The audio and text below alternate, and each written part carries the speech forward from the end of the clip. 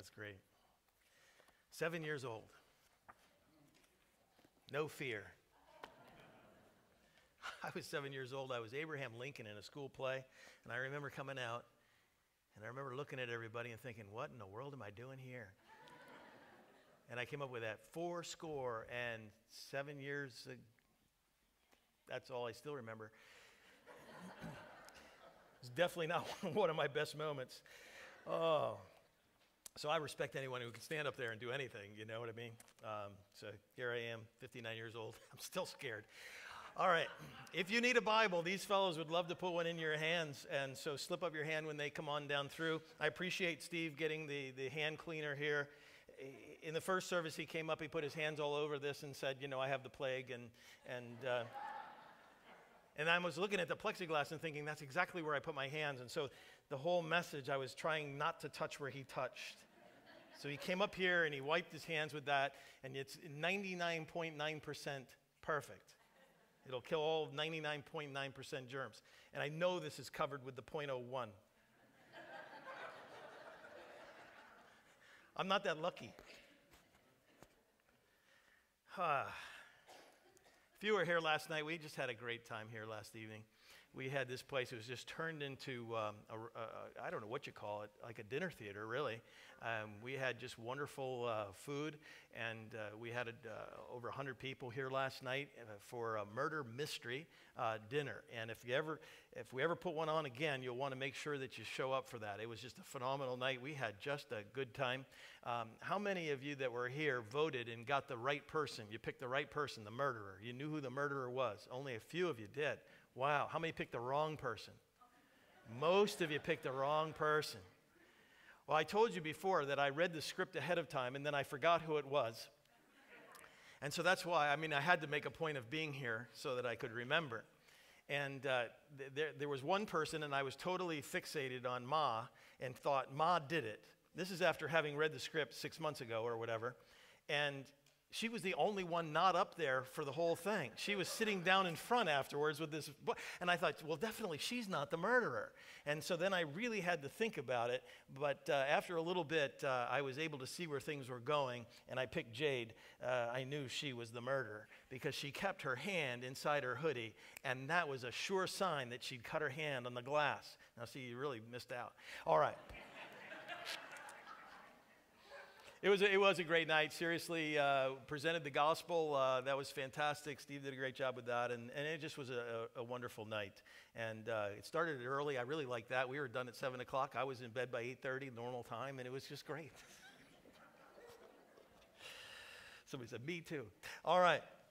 We are in Joshua chapter 22, and this has been quite a ride as we've gone through this uh, study here in the book of Joshua. It's been exciting because it's been wonderful to see how the people of God have progressed through their obedience to the Lord and won the day. And it's not that they were doing it of their own, it was all the power of God. The one thing that God is requiring in order to see this through is for the people of God to be obedient. And it's so refreshing for the people of Israel to walk in this manner with the Lord and to see how God would provide. And this has been a fabulous, fabulous journey. You know, in our Christian lives, uh, we're asked to do the same thing, aren't we? We're asked to walk with the Lord. We're asked to, to follow Him and, and be obedient. And God just pours His blessings out upon uh, His obedient children. And it is so refreshing uh, to, to walk along with the Lord. And yet, we recognize that as we're going through this process, Satan is constantly trying to throw things in front of the Christian. He is doing everything that he possibly can to keep us from being victorious. Well, the same thing is true as the people of Israel have been going through the uh, victory stages of acquiring the promised land.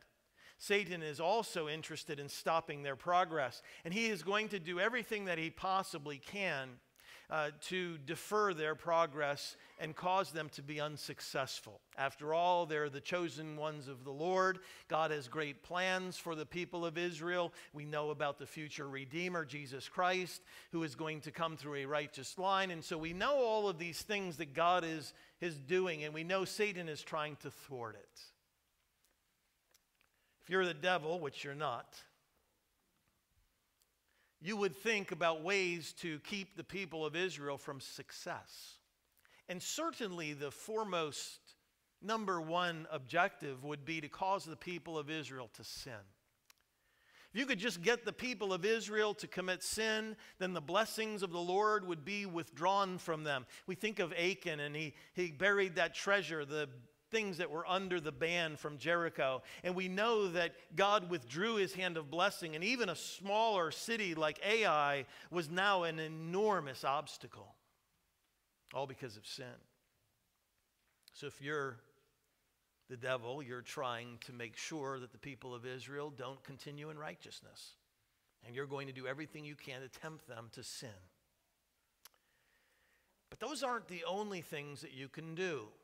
Satan is very well versed in diversification. He will seek in any way possible to stop the progress of God's people. In Joshua chapter 2, we're going to find a very effective way for Satan to go in and stop the progress of God's people, and that's through causing division among them. One of Satan's proven tactics is dividing the brethren. And it was true all the way back here in 1400 BC, approximately, and it's true in 2017. Satan has been very effective at causing division. I want you to think of Joshua chapter 22 in light of the big picture. I want you to think of it in light of the big picture because we have a spiritual warfare that is continuing on here in 1400 BC, and it is something that bears watching. Because the people of Israel, should they turn upon themselves, could create such destruction among themselves that they never accomplish the plans of God. Let's look to the Lord to bless his word this morning, shall we? God, we just come before you so very thankful, Lord, for the examples that you've set forth in Scripture. And help Joshua chapter 22, Lord, to teach us these lessons this morning. Help us to understand what happened in chapter 22. Father, help us to seek not to follow suit in certain ways. And help us, Lord, to be so very close to you that we're mindful of our adversary and his tactics. May they fail every time. I pray this in Christ's name. Amen. Here we are in chapter 22, and we read here in verse 1 Joshua summoned the Reubenites, the Gadites, and the people from Manasseh who lived on the eastern side of the Jordan River. And he said to them, You have kept all that Moses, the servant of the Lord, commanded you, and you have listened to my voice in all that I commanded you. You haven't forsaken your brothers these many days to this day, but have kept the charge of the commandment of the Lord your God. And now the Lord your God has given rest to your brothers. As he spoke to them, therefore, turn now and go to your tents, to the land of your possession, which Moses, the servant of the Lord, gave you beyond the Jordan. Only be very careful to observe the commandments and the law which Moses, the servant of the Lord, commanded you to love the Lord your God and walk in all his ways, keep his commandments, and hold fast to him and serve him with all your heart, with all your soul. And so Joshua blessed them and sent them away, and they went to their tents. Well, the passage of Scripture is clear as to what is happening here, and I'll draw your attention here as we look at Joshua chapter 22 to a map that shows the 12 tribes and the areas that they have uh, possessed in the land. And what I want you to see here on our map is that to the east side of the Jordan River, you'll notice the tribe of Manasseh. It's also there on the western side as well. You recall as we started this journey in the book of Joshua that Moses had instructed those three tribes, the tribe of Reuben and Gad and Manasseh, that had the inheritance on the eastern side of the Jordan River, he had instructed them specifically that when they got to this area, that they shouldn't stop, but that they should continue with the other tribes. Remember, as they came up through here, um,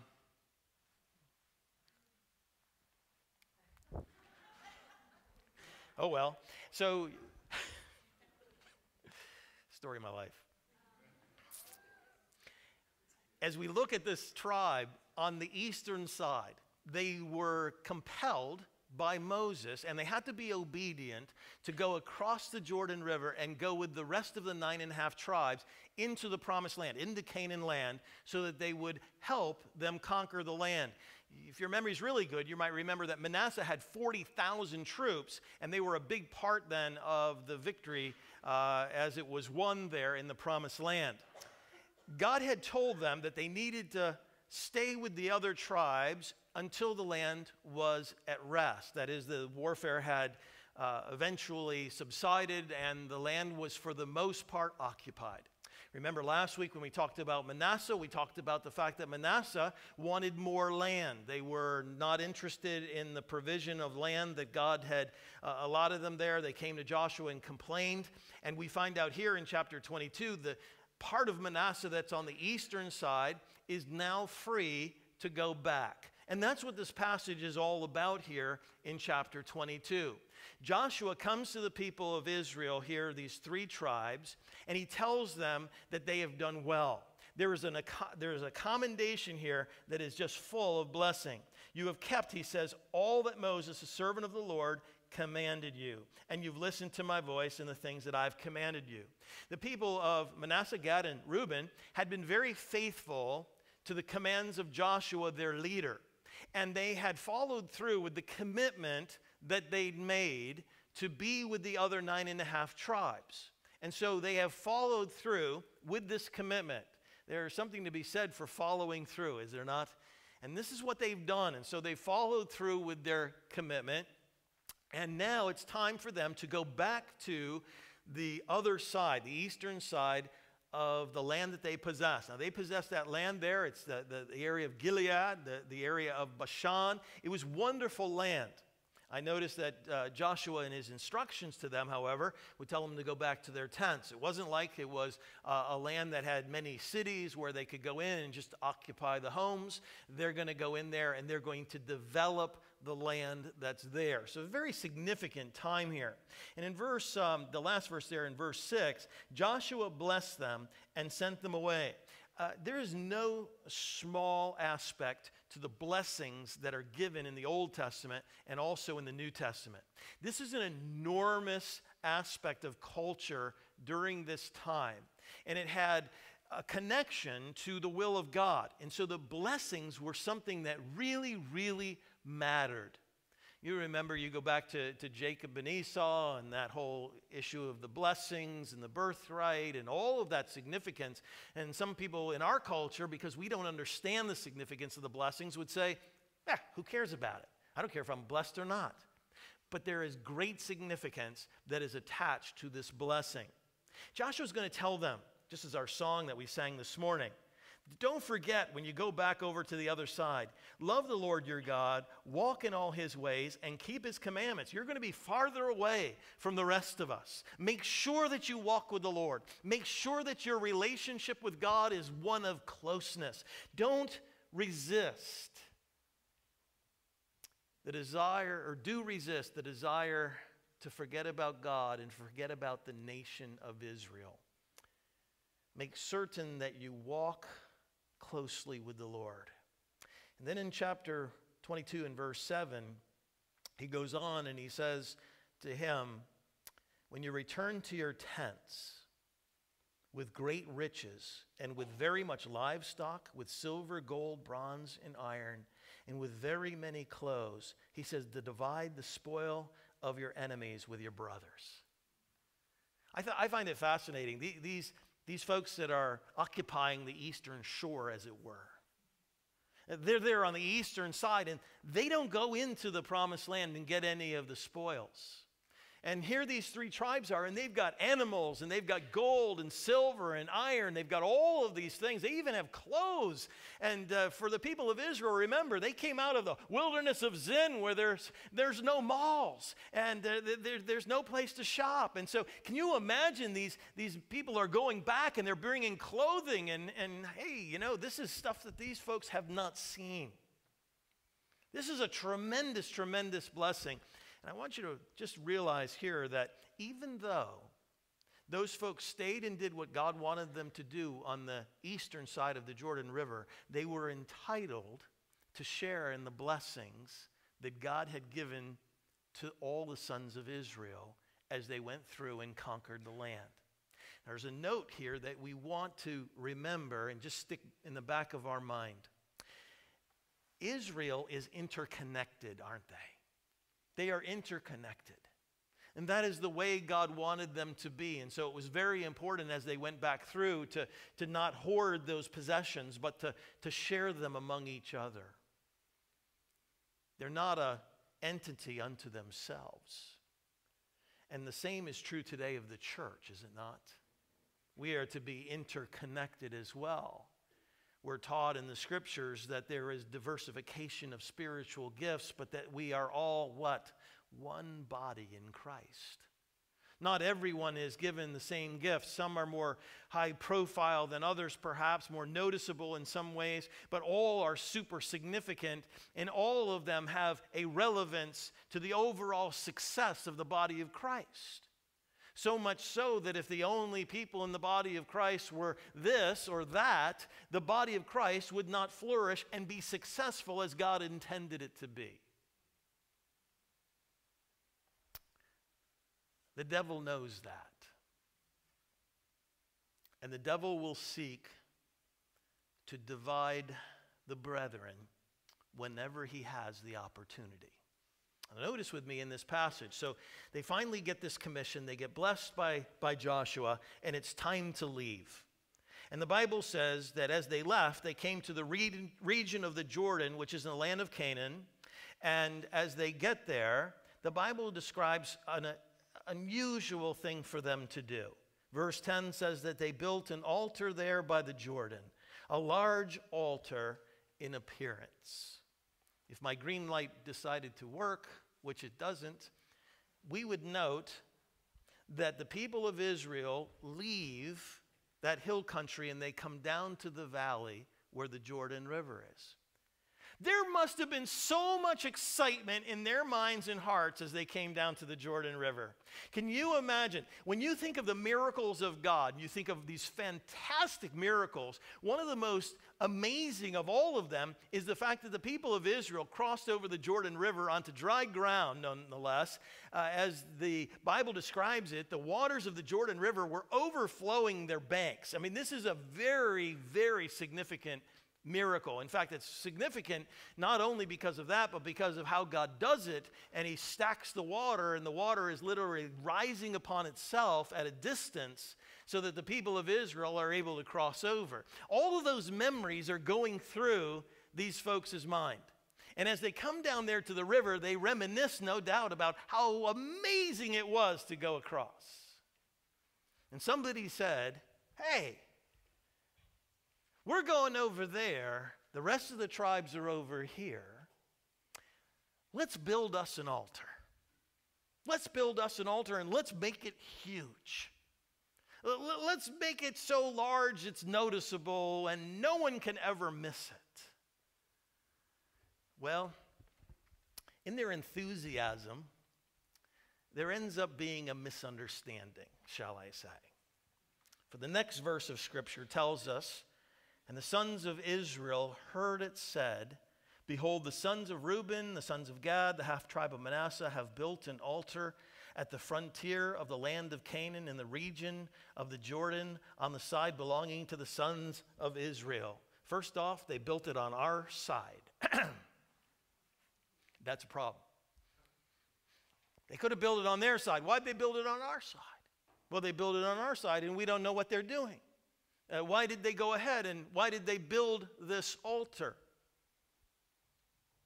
The amazing thing here is seen in verse 12 when the sons of Israel heard it, the whole congregation of the sons of Israel gathered themselves at Shiloh to go up against them in war. Go with me back there to verse 11. Verse 11, and the sons of Israel, what? They heard it. And then verse 12, when the sons of Israel what? Heard it. All of this is happening because of what? Hearsay. Well, I heard it said. It's amazing how miscommunication and misunderstanding can bring about division, isn't it? A story about a lady who decided to take her lunch break in the cafe across the street from her workplace, and she bought a small cellophane pack of cookies and a newspaper on her way over to the cafe. And she found a booth, she ordered a cup of coffee, she sat down to read her, her paper in peace and quiet. Before long, she's aware of someone who's actually sitting across from her. And so she looked out from behind her newspaper to see an older gentleman smiling at her, opening up her package of cookies. Yeah, he's smiling. It's no wonder he's smiling, right? So he nods at her and he pops one into his mouth. And she flips out. She's like, the nerve of this guy. So she reaches across the table, pulls the cookies over to her side, and she eats one just to send a message to him. And she goes back to her reading. Soon she hears the cellophane rattle again as her unwelcome neighbor eats another one of her cookies and smiles at her. How dare he repeat this crime, she is thinking. She stretches across the table, snatches the pack of cookies, and ate another one with more zeal, even.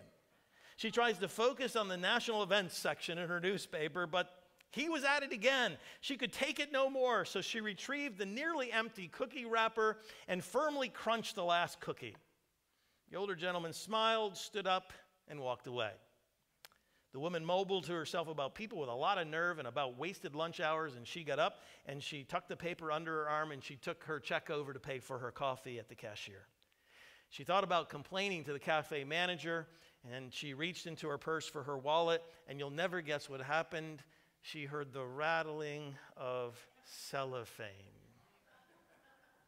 to her embarrassment, she realized that she'd been eating that man's cookies. She'd been assuming all along that he was eating her cookies and was angry over a simple misunderstanding.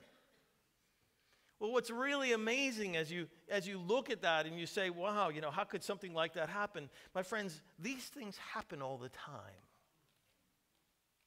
Here we are, we're in Joshua chapter 22. Everything has been going so well. Joshua has to pull aside the, the, the leaders of these three tribes, and he says, we praise God for your faithfulness. Your commitment has been unaltering. You've been obedient. You've done all these wonderful things. It's time to go blessing with a blessing back to your land. Go back and, and share the, the wealth uh, with your people, and may God bless you. And remember to draw close to God and stay close to God. I mean, up until this point, I am really with it. And I am just so excited for what God is doing here. And the next thing you know, these guys build an altar, and the Bible says the congregation of the sons of Israel gathered themselves together at Shiloh to go to war. See the big picture? Satan's looking at all the victories that have been won, and he's thinking to himself, what better way to be successful in stopping this now than to destroy Israel by their own hands? A civil war. Let's create a civil war. Let's create a misunderstanding. Let's get these guys to pick up their swords and go against each other. And in the end, the victory will not be Almighty God's. In the end, the victory will be His, Satan's. My friends, this is a simple tactic, but it's very, very effective. In fact, Satan does it yet today, doesn't he? Satan loves nothing better than to divide the brethren. You can hardly go to a church. I, I, I, made this statement in the first service, and then I had to, I had to walk it back because I have no idea if it's true or not. Just be honest with you. you can go anywhere in the United States, any town in the United States, and you'll find two churches that have divided. I don't know if that's true or not. But in more places than not, it's probably very true, isn't it? And oftentimes, Christians divide, just like non Christians do, over things that are misunderstandings, where there's not really an understanding of, of the facts and the truth. And so people have difficulties. Sometimes it's within our own family, sometimes it's between a husband and a wife. There's, there's miscommunication, there's misunderstanding. And there's not the single desire to go out and find out what the truth is so that things can be made right. Well, the Bible tells us over in Matthew chapter 18, and we don't have time to go there this morning, but that's the passage we oftentimes refer to when it comes to reconciliation. If someone has sinned against a brother, the one who's offended should go and seek out that person and seek to, to reconcile. If it's non reconcilable there, they should take two, three people more with them and, and, and find out if it can be reconciled with the witness. And then, if that doesn't work, ultimately you bring it before the body, and the body decides. And it could be as devastating as the body of believers saying, We are going to remove the affirmation of that person's salvation. Pretty significant stuff. Well, here we are, and what is going to happen? Is there going to be a war? Well, I don't want to stop you. I know you're just dying to find out. So let's keep reading. Well, the Bible says the sons of Israel, verse 13, sent to the sons of Reuben, Gad, and Manasseh Phinehas, the son of Eleazar the priest. And Phinehas has no relationship to Finnegan whatsoever, even though we just had St. Patrick's Day.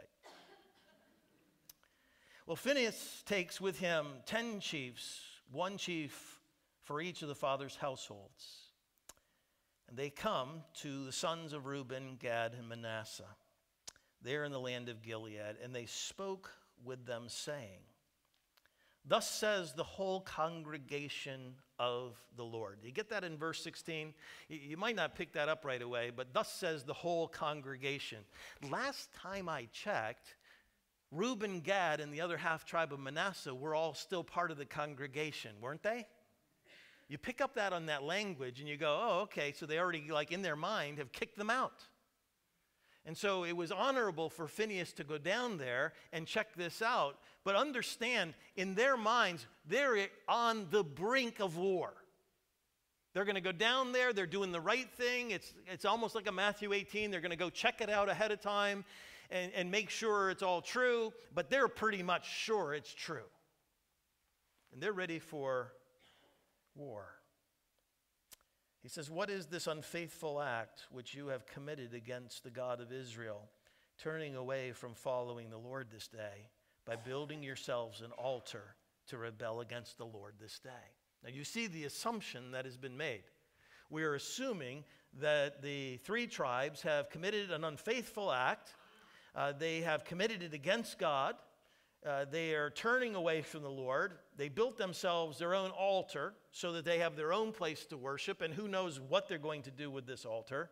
And Phinehas is very, very concerned. And he says in verse 17, Is not the iniquity of Peor enough for us, from which we have not cleansed ourselves to this day? Although a plague came on the congregation of the Lord, that you must turn away this day from following the Lord. If you rebel against the Lord today, he'll be angry with the whole congregation of Israel tomorrow. In other words, he's going to be angry with us if you continue this pattern. Now, I want you to see over in Numbers, if you go back with me to the book of the law there in Numbers, uh, you find in chapter uh, 22, 23, 24, you're kind of dealing with Balak and uh, the, the Balaam and the prophets of Balaam and all those things. But in chapter 25 and verse 1, we pick it up here where it says, While Israel remained at Shittim, the people began to play the harlot with the daughters of Moab.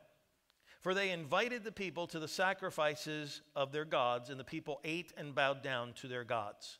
So Israel joined themselves together to Baal of Peor, and the Lord was angry against Israel. This sin had taken place when the people were still on the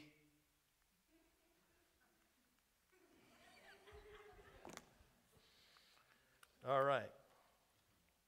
Maybe we can do this. If you can move it up there, whoever's up there, I can't see them. If, Yes, that would work. Perfect. And you can see from that map where this location takes place. It takes place on the eastern side of the Jordan River. It's before they would cross over. And it is up here on this mountain that the people of Israel are going to, as God would say, play the harlot. They're not faithful to God Almighty. And because they're not faithful to God Almighty, uh, there is a reason for huge concern because God is going to punish them. The Bible says that they uh, started to uh, make sacrifices to the gods of the Moabites. And the Bible says they bowed down, they worshiped these false gods. I won't go into the uh, actual word meaning for Peor, but it is disgusting what was going on on this mount. And the acts that were associated with worship or religion were absolutely perverted. It was horrible. This was all a travesty, and it was thrown in the face of the one true God. And the Lord said to Moses, Take all the leaders of the people and execute them in broad daylight before the Lord, so that the fierce anger of the Lord may turn away from Israel. So this is scary, isn't it? Moses said to the judges, Each one of you slay his men who have joined themselves to the Baal of Peor. Now, this is what happens. One of the sons of Israel came and brought to his relatives a Midianite woman in the sight of Moses and the sight of the congregation, the sons of Israel, while they were weeping at the doorway of the tent of meeting. Okay, do you, do you get what's happening here? While they're weeping over this horrible sin, and the anger of God is so great that he tells Moses, You're going to have to slay these people in broad daylight so everyone will see it. This man walks into his tent to flaunt his relationship with a Midianite woman. And Phinehas can't handle it. The Bible says that Phinehas the son of Eleazar, the son of Aaron the priest, saw it. He arose from the midst of the congregation and he took the spear in his hand and went into, uh, after the man of Israel, into the tent and pierced both of them through. And the Bible says, So the plague on the sons of Israel was checked because of Phinehas's righteous actions. Those who died by the plague, by the way, number 24,000.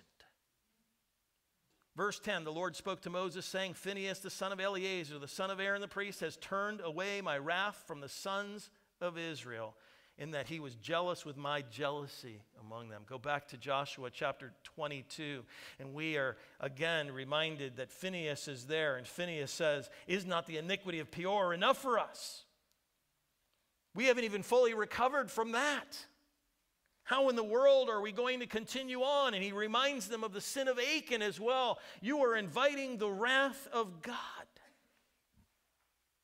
If this is all true, then those nine and a half tribes will need to spring to action, and there will certainly be punitive actions from God that will rest upon Gad, Reuben, and Manasseh. I want you to see the reaction of those three tribes. In chapter 22, verse 22, uh, we read a, a, neat verse. If we can fast forward a, one more thing. There, oh, he's already got it. And now my thing is back. Yes. This is an unusual construct in the original. The mighty one, God, the Lord, the mighty one, God, the Lord. He knows. he knows we didn't do anything wrong.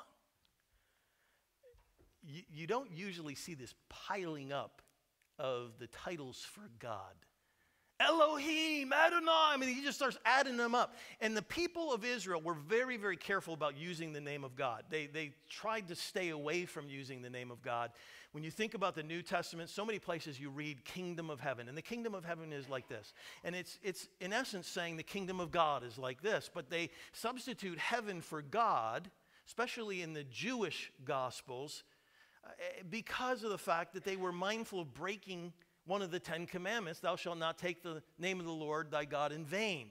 And so they were very careful about using the name of God. So this type of piling on, the mighty one, the Elohim, and, and, and on and on, uh, is just causing them to show that they were trying to be emphatic about the fact that they are right with God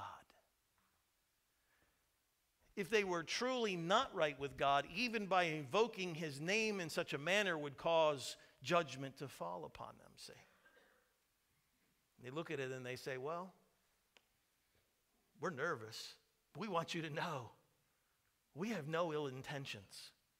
Reading on here in this passage, he goes on and he tells them that the reason for why they did this. He says, if verse 23, if we've built us an altar to turn away from following the Lord, or to offer burnt offerings, grain offerings, or other sacrifices of peace offerings, may the Lord Himself require it. Require what? Require their lives. But he says, truly, we have done this out of concern for a reason, saying, In the time to come, your sons may say to our sons, What have you to do with the Lord, the God of Israel? For the Lord has made the Jordan a border between us and you. You sons of Reuben, sons of Gad, you have no portion in the Lord. So your sons may make our sons stop fearing the Lord. Therefore, for this reason, we said, let's build an altar, not for burnt offerings or sacrifice. Now, that alone would put at ease Phinehas and his concerns. Because the concern was we have a foreign built altar here offering potentially sacrifices to another God at some time, either then or moving forward. But that was never the intention. And so the whole point was we're doing this so that we might be sure that our sons will be included as the children of Israel in the time moving forward. It seems like a harmless enough reason. I still don't think it was a great idea. God never told them to do that. In fact, if you remember, when they came across the Jordan River, what did God tell them to do in order to remember the Lord? He told them to take 12 river stones from the bottom of the Jordan River and put them as a memorial uh, there so that the people, when they go down there, would remember the working of God, which would let them remember who God is and who they are. It wasn't a great idea, but the motivation was honorable. Are you with me? oftentimes our misunderstandings are baseless. We judge another person's motivation, we judge a person's heart when we have no idea what the intention truly is. And because of that, relationships are oftentimes stressed or worse. There is fightings and difficulties whether it's in families, whether it's at workplace, whether it's even in the church. Satan loves to divide the brethren.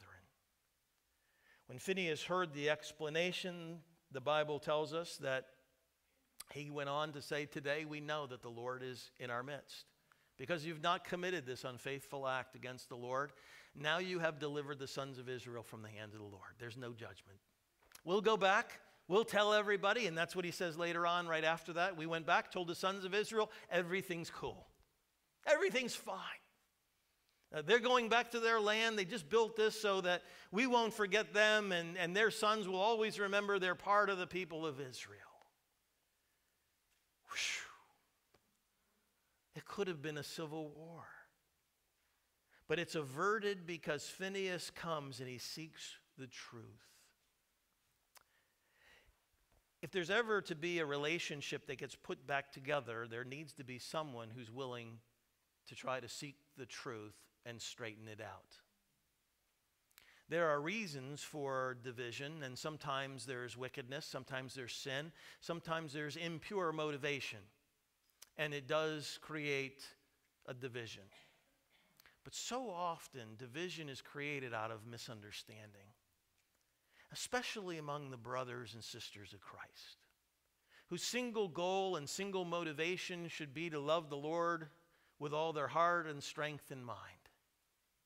And along the way, there comes bad feelings due to misunderstanding. May we be wise people, people who are anticipatory of Satan's tactics. And may we understand the significance of making certain before we jump to conclusions about brothers and sisters in Christ. Let's pray.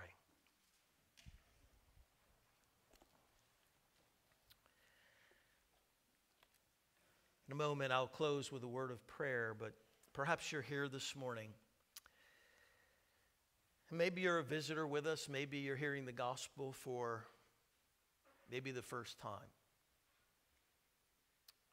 Let me urge you today to understand that we should have no misunderstanding when it comes to the gift of salvation in Jesus Christ.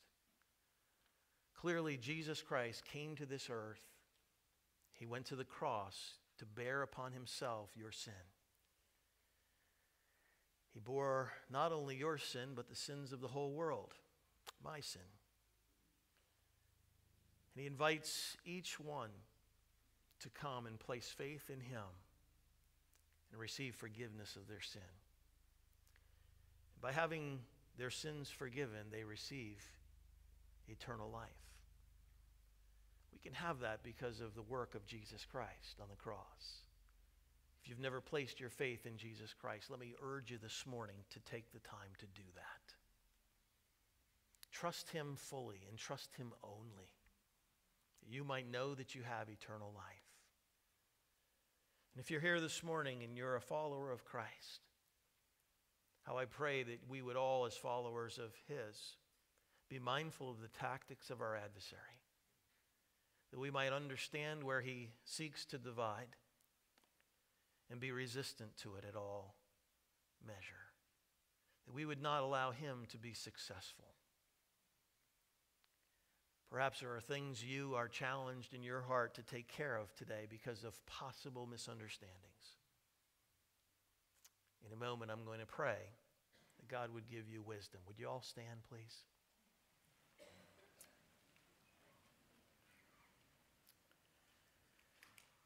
Heavenly Father, today I pray for anyone here this morning who may be uncertain upon where they'll spend their eternity. Father, may it be resolved before they leave here this morning by placing faith in Jesus Christ. May they know, Father, that it is not because they're trusting in their works or their background or history, but they're trusting just simply in Jesus and his work on the cross. Father, how thankful we are that Jesus took upon himself the sins of the whole world and then to show forth the reality that he can save us. He resurrected from the dead. The power of the gospel of Jesus Christ is undiminished even today. Help us, Father, today as followers of Jesus Christ to look into our own life, to evaluate things, Lord, that perhaps we've taken for granted, to maintain, Lord, a walk with you that truly cannot be criticized by the world. A walk of purity and devotion. Father, if we are unclear on someone else's motives, Father, may we seek in love to know and to heal rather than to divide. And may we glorify you in what we do as believers. I pray this all in Christ's wonderful and amazing name. Amen. May God bless you. Have an awesome week.